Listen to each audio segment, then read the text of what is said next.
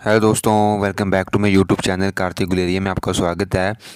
तो दोस्तों, आज की इस वीडियो में हम बात करेंगे शिक्षा विभाग में जो है वो एक न्यू अपडेट आपकी आई हुई है। तो शिक्षा विभाग में खाली भर्तियाँ जो है वो कब तक हो सकती हैं और कितनी इसकी वैकेंसी रहेगी?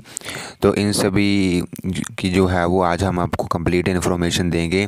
काफ़ी इंपॉर्टेंट वीडियो ये रहेगी दोस्तों, क्योंकि जो भी जे बी और इन सारी भर्तियों का एन भर्तियों को देखना चाहते हैं तो उनके लिए ये काफ़ी इंपॉर्टेंट अपडेट यहाँ पर रहने वाली है।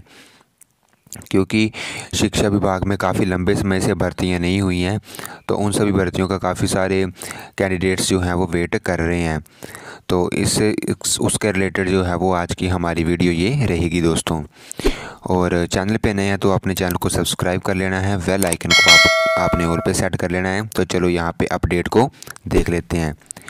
तो दोस्तों, अपडेट यहाँ पे कुछ इस प्रकार से है कि शिक्षकों के बारह हज़ार पद खाली दुर्गम और ग्रामीण क्षेत्र के स्कूलों में तीस फ़ीसदी स्टाफ की कमी। तो यहाँ पे आप देख सकते हैं दोस्तों कि शिक्षा विभाग में काफ़ी सारे पद खाली चले हुए हैं बारह हज़ार पद खाली हैं। तो शिक्षा में मन, शिक्षा मंत्री रोहित ठाकुर बोले जल्द होगी भर्ती छब्बीस जनवरी के बाद मंत्री ने बुलाई रिव्यू बैठक। तो यहाँ पे आप देख सकते हैं शिक्षा विभाग में शिक्षकों के बारह हज़ार पद पद खाली चल रहे हैं जिसमें सबसे ज़्यादा जेपीटी और टीजीटी के पद। और हैरानी इस बात की है कि शिक्षा विभाग के सबसे ज़्यादा भर्ती के मामले कोर्ट में पेंडिंग चल रहे हैं दोस्तों।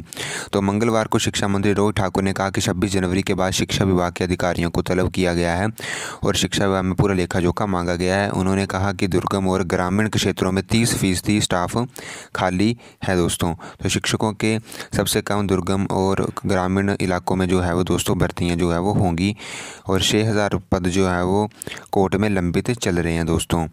तो छब्बीस जनवरी तक उन्होंने जो है वो रिव्यू बैठक भी बुलाई है और उन्होंने कहा है कि सरकार से मेरी जानकारी के अनुसार राज्य में 2000 पद लेक्चरार के खाली चल रहे हैं, वहीं दस हज़ार पद जेबीटी और टीजीटी के खाली चल रहे हैं। पहाड़ी और दुर्गम ग्रामीण क्षेत्रों में 25 से 30 फ़ीसदी स्टाफ हमेशा कम रहा है। इन क्षेत्रों में शिक्षक जाने के लिए तैयार नहीं होते हैं। शिक्षा मंत्री ने कहा कि अब आने वाले समय में इसके लिए मैकेनिज़्म तैयार किया जा रहा है। तो दोस्तों, आपको यहाँ पे अब भर्तियाँ देखने को मिलेंगी जेबीटी की भी और टी वगैरह की भर्तियाँ आपको यहाँ पे देखने को मिलेंगी दोस्तों।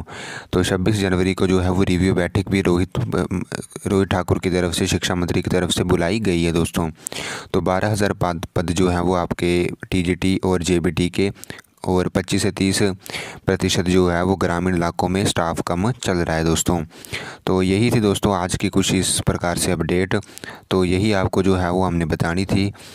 तो वीडियो अच्छी लगी तो वीडियो को लाइक करना है, चैनल को सब्सक्राइब करना है। So, thank you for watching.